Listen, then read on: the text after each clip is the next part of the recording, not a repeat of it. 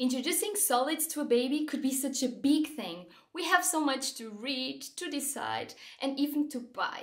In this video, I'm going to show you the general recommendations when you're introducing solids to a baby in Germany.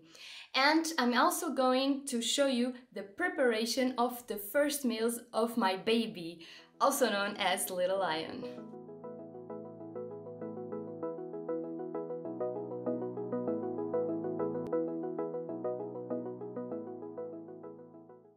Hi guys and welcome back to my channel. This channel is about motherhood in Germany and uh, on today's video I'm going to talk about the um, recommendations when you're introducing solids to a baby in Germany. I have to confess that this was a little bit an overwhelming phase for me, so exactly the time before starting with solids. I guess for the second, third, fourth child uh, it would be easier um, the problem is also that the recommendations vary from country to country and from pediatrician to pediatrician. Um, yeah, so what I'm going to talk about in this video today are the general recommendations uh, for introduction to solids for babies in Germany. Actually, before the introduction, we had our midwife here again uh, in our house. Um, and she answered to many questions. If you want to see um, how midwives can help you in Germany right after your baby arrives, please check this video here. For the sake of this video, I'm going to follow the Inform recommendations. The Inform is the German initiative for healthy nutrition and more exercise, and the, their recommendations are broadly accepted in Germany. I can tell you that our midwives and even our pediatrician guidelines were in accordance with the Inform recommendations. I will also show you how I firstly prepare our baby's meals. But if you want to have more ideas, uh, please check my Instagram account. There I usually post uh, his meals um, and also how I prepare them and so on. So let's start. And uh, the first question you should ask yourself and your baby is if he or she is already ready to start eating solids. And this varies a lot from baby to baby, like everything else. So don't check your neighbor's baby to know uh, if your baby uh, is already ready to start with solids. We are all different, and that's the beauty of it. In the meantime, there are four signs that you could look uh, and pay attention to. The first one is if your baby is putting objects in uh, her or his mouth already.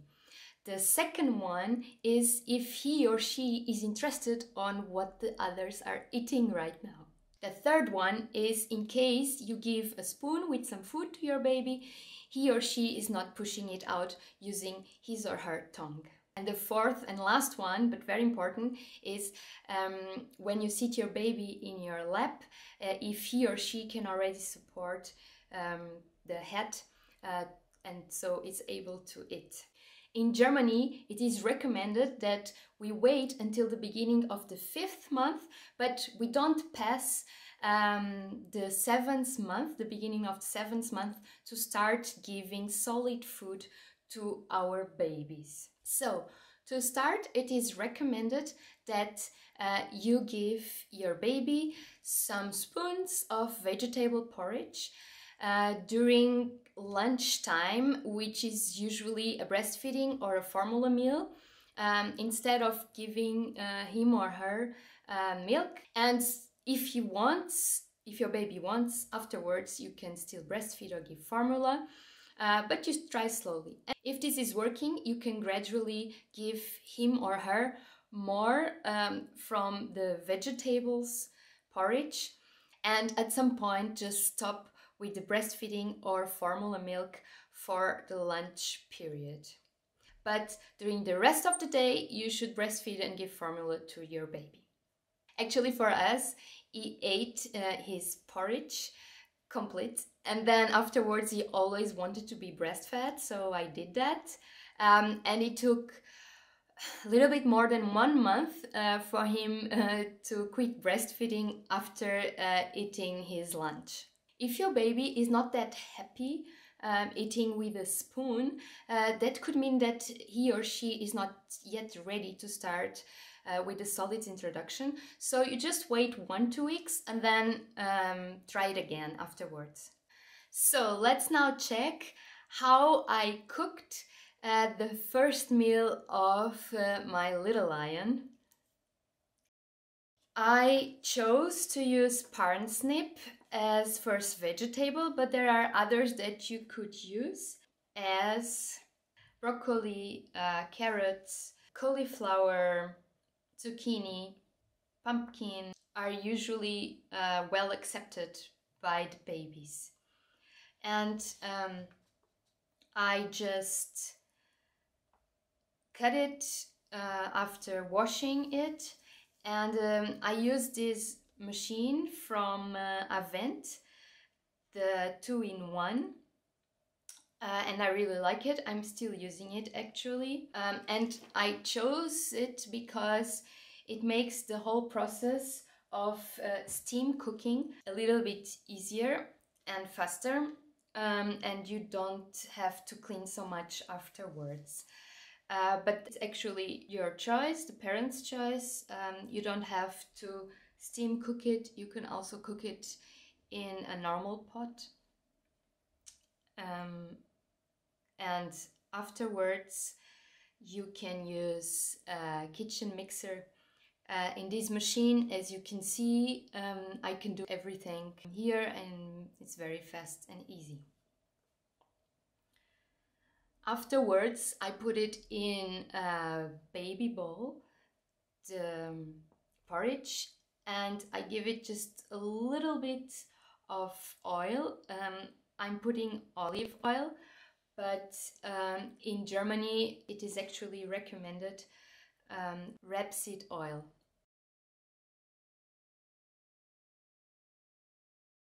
It is done. This was the first meal I gave to my little lion and he actually liked it. If you opt to give a jar food for your baby, uh, which is also okay, uh, you just have to uh, know what is better for you uh, as a family in your daily routine and for your baby. There is this brand, HiPP. I guess you heard about that already. Here in Germany, they are quite known. And uh, this one is just with meat. Uh, of course, you don't start with meat, but there are some just with one type of vegetable. The important thing here is if you start with it, uh, just choose one of the vegetables that I told you about. So it could be zucchini, could be pumpkin, uh, something like that. Very important, don't add any salt or pepper to your baby's food, uh, even if you try it and it uh, tastes a little bit insipid, but that's normal and that's exactly how they should eat it. The next meal is the milk cereal porridge. And um, the recommended time to give to your baby is in the beginning of the sixth month and the, not later than the beginning of the eighth month. And this should be a dinner. And even if there are some cow milk allergies running in the family, uh, you should give cow milk to your baby anyways. Just in case um, your baby or you know your baby is allergic to cow milk, like our little lion, uh, then you can use other types of milk. Our nutritionist recommended soy milk. Let's check how I prepared our baby's first dinner. At first, um, I put the um, flakes in the pot, uh, then the milk, and I mix them all the time using a spoon until it gets the consistency that I want to. Uh, it depends a lot on your baby, um, what he or she prefers, but of course in the beginning you're still trying. Um, actually for the his first meals I even used the kitchen uh, mixer to make it really uh, small pieces. We use oat flakes, 20 grams, 20 grams of whole grain cereal corresponds to 2 tablespoons for oats, 3 tablespoons for spelt and 4 tablespoons for instant flakes and um, some fruit. You can uh, use 2 tablespoons of uh, fruit or uh, more or less 20 grams. And uh, we are using soy milk, uh, as I told you before, because our baby has an allergy against cow milk.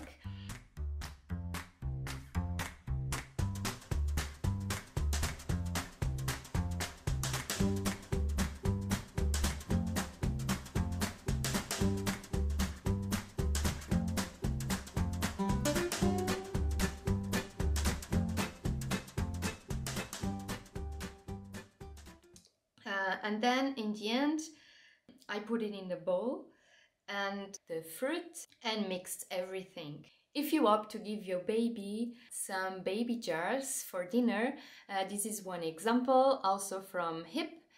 Um, and this is uh, oats milk um, porridge. And uh, here is always written from which month on uh, are you allowed to give to your baby. Your baby will just know when he ate enough or she ate enough, so don't force your baby to eat the whole bowl if he doesn't want to. The third meal of the solid introduction in Germany is the cereal fruit porridge, and it should be introduced one month uh, more or less after the second meal was introduced. So after you introduce the dinner, uh, one month uh, you can start giving the cereal fruit porridge. It is supposed to substitute one of the breastfeeding or formula meals. And uh, if you're getting instant flakes, just be sure that the main ingredients are fruit and whole grain cereals. Here is one example on how I prepared the cereal fruit porridge for my little lion. And what I did was um, I had 10 grams of whole grain cereal, in this case was spelt, and um, 90 milliliters of water and 100 grams of fruit. One type of cereal and one type of fruit should be enough. Um, and the most well tolerated fruits are apple, uh, banana, pear, peach, nectarine, and apricot and we are going to use some oil again. I'm using again olive oil. This is actually the recommended in Portugal, uh, but in Germany is rapeseed oil. I use also a lot rapeseed oil, but since I have right now olive oil at home, I'm using it. I just had the cereals inside the pot, then the water, and uh, I heat it and mix with a spoon all the time until it gets the consistency that I would like to or that my baby would like to. Here I'm using a small pot, which was one of my best pots uh, when I started introducing solids to our baby. If you want to check uh, all the products that I think are worthwhile to purchase, please check this other video I made about it.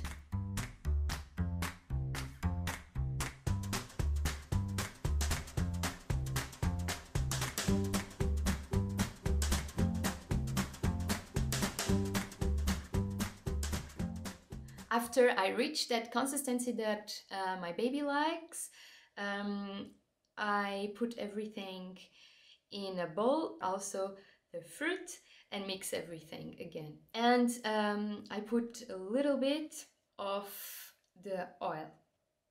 And just in the end, after I cooked it already and not in the pot.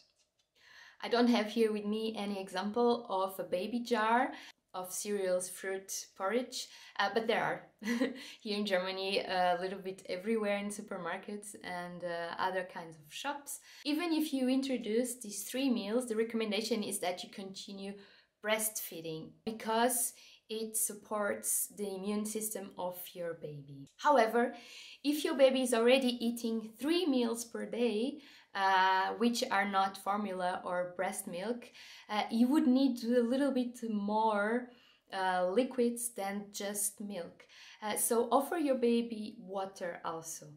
I hope this video gave you the information you were looking for. I'm very curious about which uh, vegetable are you going to start to give to your baby? So let me know in the comments down below. Don't forget to follow me on Instagram for more baby meals ideas and also to subscribe to my channel here on YouTube to see more videos about motherhood in Germany. See you on the next video. Bye!